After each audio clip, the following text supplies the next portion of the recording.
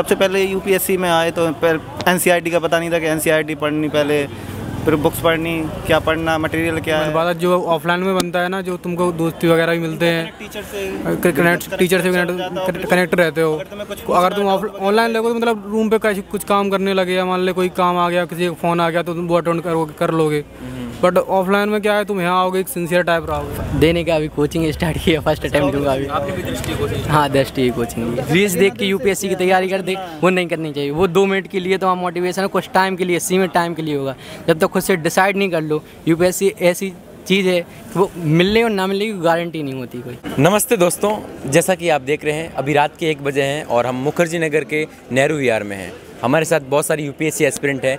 बात करते हैं उनसे अभी रात को एक बजे इस वक्त उनकी पढ़ाई कैसे चल रही है क्या पढ़ रहे थे और लाइब्रेरी से बाहर आए ये चाय पे चर्चा करते हैं। मेरा नाम अंकित डाबी बस बढ़िया चल रही है ऑप्शनल से निकल के आया हूँ ऑप्शन ही पढ़ रहा था। अच्छा अच्छा। आपका मीडियम कौन सा है? मेरा मीडियम हिंदी है। अच्छा।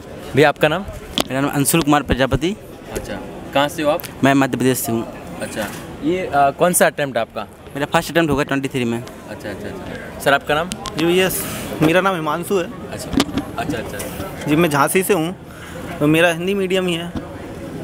अच्छा तो जैसा कि अभी आप पढ़ाई करके बाहर आए जी। वक्त अभी कौन सी बुक पढ़ रहे हो क्या पढ़ रहे हो अभी मैं हिंदी साहित्य लिटरेचर का मतलब ऑप्शनल का वीडियो देख रहा था। अच्छा अच्छा अच्छा। तो आपने अभी पहला अटेम्प्ट दिया है पहला अभी पहला तेईस में देंगे अटेम्प्ट अभी हमारा एज नहीं हुई थी। कोच कोचिंग वगैरह भी चल रही है तो नवंबर से नवंबर से कोचिंग स्टार्ट की थी मैंने। तो वो जून जुलाई के कौन समथिंग सी कोचिंग ले रहे हो आप? दृष्टि कोचिंग से ही पढ़ रहा हूँ। मुझे आठ महीने हो गए दिल्ली आए हुए। तो नवंबर में आ गया था मैं। यहाँ पे- दिल्ली में आके तो मुझे अच्छा लगा। मुझे घर पे पढ़ते थे तो उतना माहौल नहीं मिल पाता था पढ़ने का। यहाँ पे आए तो यहाँ पे अच्छा लगा पढ़ना। और यहाँ पे पहले घर पे रहते थे तो मतलब कुछ काम रहता था। यहाँ चले जाओ वहाँ चले जाओ। तो यहाँ पे आते तो पढ़ना ही पढ़ना है।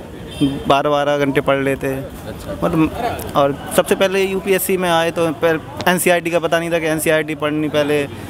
फिर बुक्स पढ़नी, क्या पढ़ना मटेरियल क्या है, यहाँ पे आए सीनियर से मिले, कुछ कोचिंग वगैरह, पहले तो सोचा कि सेल्फ स्टडी करेंगे, फिर लगा के हाँ अगर जल्दी सिलेक्शन चाहिए, पढ़ना है तो फिर पहले गाइडेंस चाहिए कोचिंग का, इसलिए पहले हमने सोचा कोचिंग कर लेते हैं।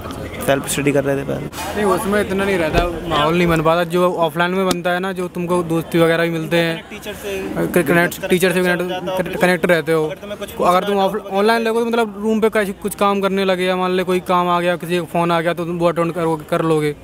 बट ऑफलाइन में क्या है तुम यहाँ आओगे एक सिंसियर टाइप रहोगे। मतलब चीज़ों को अगर कुछ दिक्कत है टीचर से मतलब करेक्ट रहोगे तो मतलब ऑफलाइन का कुछ अलग ही रहता है। ऑनलाइन का हम इतना नहीं कहेंगे ऑफलाइन में तो मतलब नहीं होता उतना। बिल्कुल। जैसे कि जैसे ये भी रहता है कि अपन खुद ही पढ़ रहे हैं ऑनलाइन में पता नहीं चलता कि कौन कितना बच्चा पढ़ रहा है। अब जो ऑफलाइन में पढ़ते तो पता चलता है कि सामने वाला कितना पढ़ रहा है उसे कितना आ रहा। अपनों कितना आ रहा क्लास बीच में जब लॉक कोरोना वगैरह आ गया था तो क्लास बंद हो गई थी तो ऑनलाइन चल रही थी तो उस टाइम पे मैं एक महीने के लिए घर चला गया था। उसके बाद रेगुलर रही दिल्ली में ही हुआ रेगुलर ही कोचिंग कर सब हुआ था। भैया की बुक लिए वो भी साथ में। अभी स्टार्ट किया है अभी। अभी दस दिन क्लास हुई इसकी हुई। अभी ग्रेजुएशन कंप्लीट हो गई। कंप्लीट हो गई है। सी मैथ से की देने जा रहे हो आप? देने का अभी कोचिंग स्टार्ट किया फ़र्स्ट अटेम्प्ट दूँगा अभी। आपने भी दृष्टि कोचिंग हाँ दृष्टि की कोचिंग ली है। कितना महीने हो आपको? अभी दस दिन हुए कोचिंग अभी दस दिन हुए। दस दिन ही हुए कोचिंग करीब दो ढाई लाख के समथिंग पड़ जाते पूरी फ़ीस के लिए आप दो ढाई लाख रुपए दे दिए आपने। क्या कर सकते हैं अब? नहीं ऐसा कुछ नहीं है। दिव्या नंबर हुई है इस बार। हाँ यहाँ पे मतलब दृष्टि के वीडियो वगैरह जो सेल्फ स्टडी की थी उन्होंने उन्होंने पहला यहाँ से वो क्या कहते हैं मॉक इंटरव्यू वगैरह दिया था। अच्छा अच्छा मॉक इंटरव्यू वगैरह उनसे मिले थे उनसे वो बात वो उनका भी अच्छा खासा हुआ है। वो पहला आपका नाम? नाम? रोहित कुशवाहा।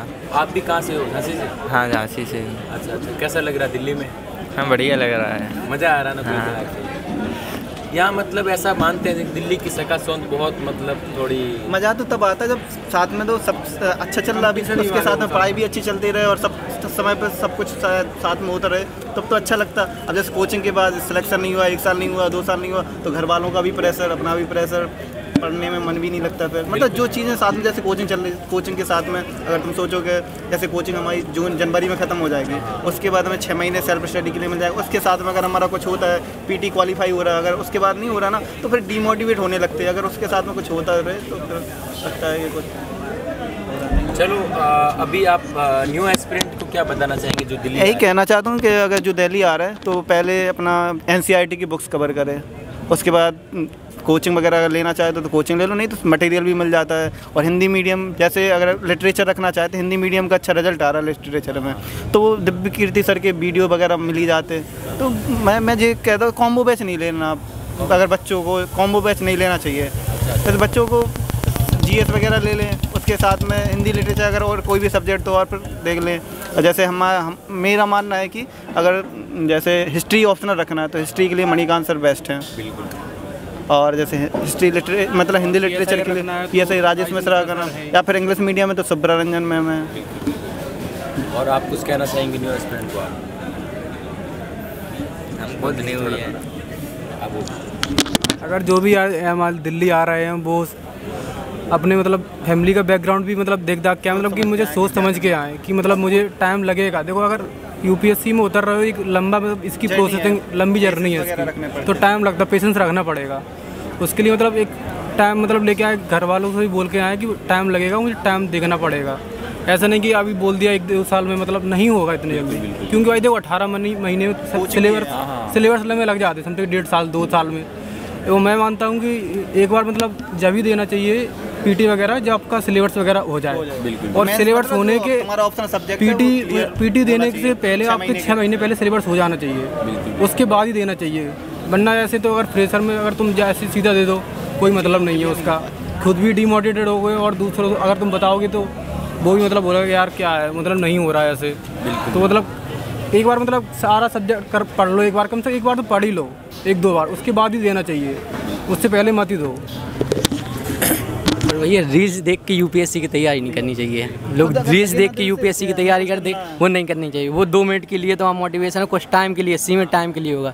जब तक तो खुद से डिसाइड नहीं कर लो यूपीएससी ऐसी चीज़ है कि वो मिलने और ना मिलने की गारंटी नहीं होती कोई।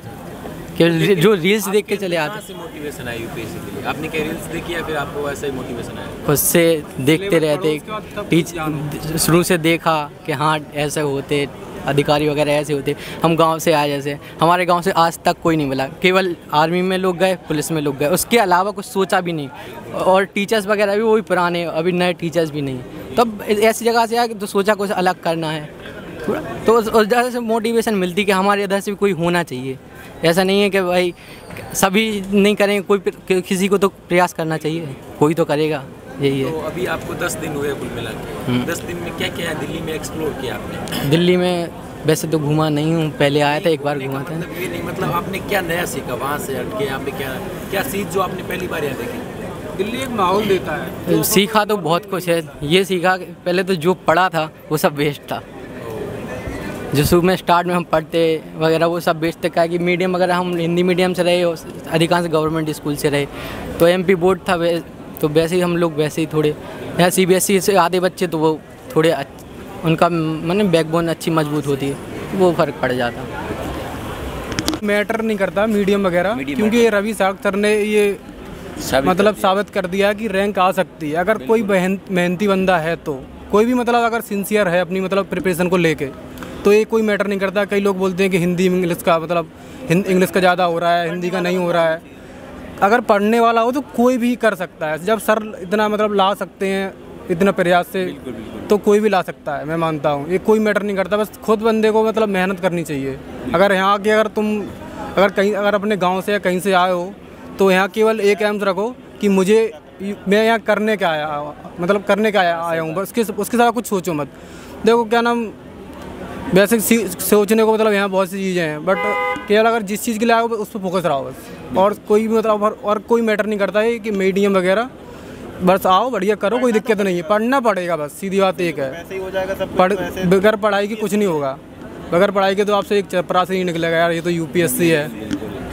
बस इतना ही थैंक यू दोस्तों मुझे भी लगता है कहीं ना कहीं जैसे रवि सियाग ने यहाँ दृष्टि आई इसके अंदर एक इंटरव्यू में बोला था उन्होंने कि मेरी इंग्लिश अच्छी होने की वजह से मैं टॉप रैंक में आया हूँ। तो अगर आपकी इंग्लिश अच्छी है तो आप भी यूपीएससी हिंदी मीडियम से क्रैक कर सकते हैं। दोस्तों, उम्मीद करता हूँ कि वीडियो अच्छा लगा होगा। प्लीज़ वीडियो को लाइक करें और हमारे यूट्यूब चैनल को सब्सक्राइब करें। क्योंकि रात के एक बजे हम पढ़ाई छोड़ के आपके लिए इतनी मेहनत दिन रात करते हैं। तो आपका इतना फ़र्ज़ बनता है कि आप हमारे लिए एक लाइक और एक चैनल को सब्सक्राइब कर सकते हैं। जय हिंद दोस्तों।